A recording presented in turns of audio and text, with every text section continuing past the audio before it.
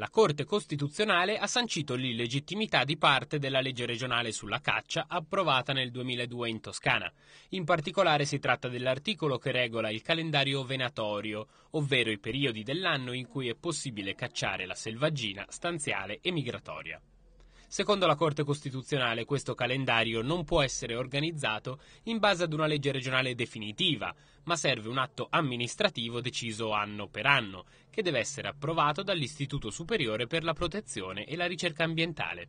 In questo senso noi, prevedendo l'esito abbiamo già inviato ad Ispra eh, da una decina di giorni la richiesta per il calendario venatorio per le specie che riteniamo siano oggetto di calendario venatorio con i tempi e, e tutto quanto ad esso collegato.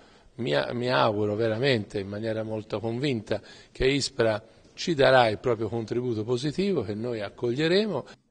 In questo modo, salvo parere negativo da parte di Ispra, nella terza domenica del prossimo settembre, come ogni anno, la caccia potrà ripartire. La decisione della consulta arriva dopo il ricorso presentato nel 2010 da alcune associazioni ambientaliste che chiedevano che l'intera legge regionale sulla caccia venisse cancellata.